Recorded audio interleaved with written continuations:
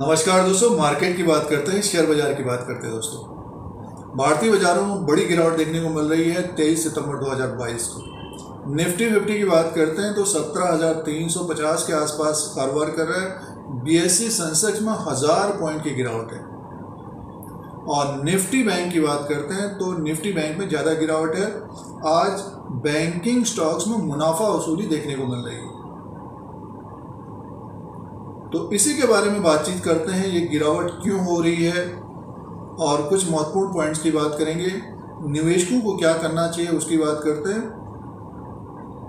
और Nifty fifty में क्या और गिरावट बढ़ सकती है, उसकी बात करते हैं दोस्तों। तो सबसे पहला पॉइंट ये है कि निफ्टी फिफ्टी में पिछले दो, ढाई, तीन महीने के अंदर एक अच्छी तेज़ी बनी थी। पंद्रह हज़ार दो सौ के आसपास से बढ़कर अट्ठारह हज़ार तक आया दोस्तों तो मुनाफा वसूली एक तरह से होनी थी। और जैसे कि सितंबर के, देखिए, जैसे कि सितंबर के महीने में हम लोगों को देखने को मिल रहा है। एक पॉइंट ये है और दूसरा पॉइंट ये है कि जो ग्लोबल संकेत हैं इंटरेस्ट रेट जो बढ़ रहे हैं, दुनिया भर के सेंट्रल बैंक इंटरेस्ट रेट बढ़ा रहे हैं। ये इंटरेस्ट रेट क्यों बढ़ा रहे हैं? जैसे कि आप जानते हैं कि इन्फ्लेशन और महँगाई को रोकने के लिए। और दूसरा पॉइंट ये है कि महंग, दूसरा पॉइंट ये कि इंटरेस्ट रेट बढ़ रहा है पूरे दुनिया भर में दोस्तों। दुनिया भर के जो सेंट्रल बैंक्स हैं, जैसे कि भारत में हमारे आर है तो दुनिया भर के सेंट्रल बैंकों के द्वारा इंटरेस्ट रेट बढ़ाया जा रहा है कहीं कहीं तो हंड्रेड परसेंट बढ़ाया जा रहा है। और कुछ देशों की हालत तो बहुत ख़राब है। और ये महँगाई को रोकने के लिए। इंटरेस्ट रेट जो बढ़ रहा है, महँगाई को रोकने के लिए कंट्रोल करने के लिए इन्फ्लेशन को कंट्रोल करने के लिए। इसीलिए इंटरेस्ट रेट बढ़ रहे हैं दोस्तों। और जैसे कि अभी एक हफ़्ते पहले दो तीन दिन पहले जो खबर थी, अमेरिका के सेंट्रल बैंक फेडरल रिज़र्व ने भी 0.75 बेसिस पॉइंट का बढ़ाया है। और ये भी कहा है कि आगे आने वाले दिनों में अगर महँगाई कंट्रोल नहीं होगी तो फिर से बढ़ाया जाएगा। अमेरिका में भी महँगाई काफ़ी बढ़ी है। वहाँ भी एक तरह से जो इंटरेस्ट रेट बढ़ाया जा रहा है तो महँगाई को कंट्रोल करने के लिए बढ़ाया जा रहा है दोस्तों। तो ये दुनिया भर के सेंट्रल बैंक्स महँगाई को रोकने के लिए इंटरेस्ट रेट बढ़ा रहे हैं। तो इंटरेस्ट रेट बढ़ेगा तो आगे आने वाले समय में ग्रोथ की कमी रह सकती है। ग्रोथ की कमी रह सकती है। बहुत सारे कंपनियाँ जिन्होंने ऋण ले रखा है लिवरेज में है। अगर ग्रोथ कम होगी तो सेल्स कम होंगे प्रॉफिट कम आएगा, फिर वो इंटरेस्ट रेट जो इंटरेस्ट है वो चुका नहीं पाएँगे, दे नहीं पाएँगे बैंकों को तो उनके ऊपर प्रेशर रहेगा। ये समय लगेगा दोस्तों। अभी जो रिसेशन और मंदी की बात आ रही है और मार्केट्स में जो गिरावट आ रही है तो ये हल्की फुल्की गिरावट है उतार चढ़ाव बना हुआ है निफ्टी फिफ्टी तीन हज़ार पॉइंट तेज़ी में था पिछले तीन महीने के अंदर बहुत सारे निवेशकों को फ़ायदा भी रहा होगा।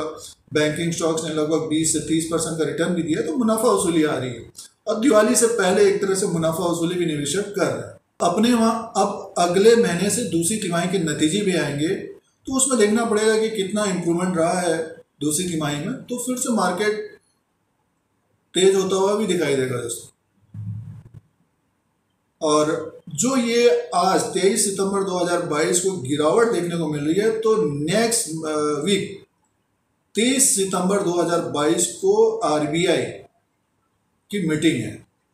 और ये मीटिंग इसलिए है कि रेपो रेट बढ़ेगा या नहीं बढ़ेगा? अगर महँगाई कंट्रोल में रहेगी, थोड़ा बहुत कंट्रोल में तो ही है ऑयल प्राइजेस नीचे की तरफ़ हैं बट फिर भी पिछली बार बढ़ गया था। तो देखना पड़ेगा कि आरबीआई के द्वारा कितना इंटरेस्ट रेट रेपो रेट बढ़ाया जाता है। वैसे विशेषज्ञों की जो राय है zero point five zero points बढ़ाए जा सकते हैं तो उससे ज़्यादा भी बढ़ाया जा सकता है। अगर जो महँगाई है, आरबीआई का क्या अनुमान रहता है तो देखना पड़ेगा। उसी के अनुसार जो रेपो रेट है, वो बढ़ेगा। तो इसलिए भी मार्केट में थोड़ा बहुत उतार चढ़ाव बना हुआ है, मुनाफा वसूली बढ़ी है ट्रेडर्स दोनों तरफ़ से एक तरह से कारोबार भी करते हैं और अफाइज जो पहले ख़रीदारी कर रहे थे, अब थोड़ी बहुत बिकवाली कर रहे हैं और सत्रह हज़ार तीन सौ पचास के आसपास निफ्टी अभी कारोबार कर रहा है, दो सौ तिरासी पॉइंट की गिरावट है, निफ्टी फिफ्टी में दोस्तों। अच्छी खासी गिरावट है बी एस सी सेंसेक्स अट्ठावन हज़ार एक सौ सात में है हज़ार पॉइंट की गिरावट है और निफ्टी बैंक उनतालीस हज़ार चार सौ बयासी में एक हज़ार एक सौ सैंतालीस पॉइंट की गिरावट है। और ग्लोबल मार्केट भी गिरकर खुले थे, इसीलिए गिरावट ज़्यादा बढ़ी है दोस्तों।